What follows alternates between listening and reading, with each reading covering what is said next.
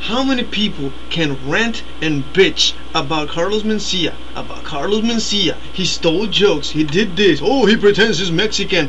Fuck you. He's Honduran. He's actually Hispanic. He never says Mexican. And if he says Mexican, he doesn't refer to himself. He refers to everybody else. Now, the jokes, they sound alike. They might be stolen, but not stolen. He heard them.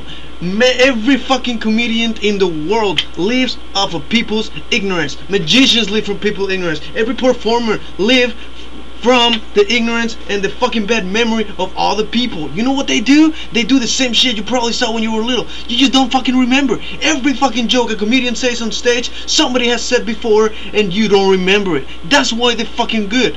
That's why. You think of all the fucking comedians, no, nobody has ever, ever, ever copied a fucking joke. But why aim to Carlos Mencia? You know why? Because you fucking hate him. You don't like him. And guess what?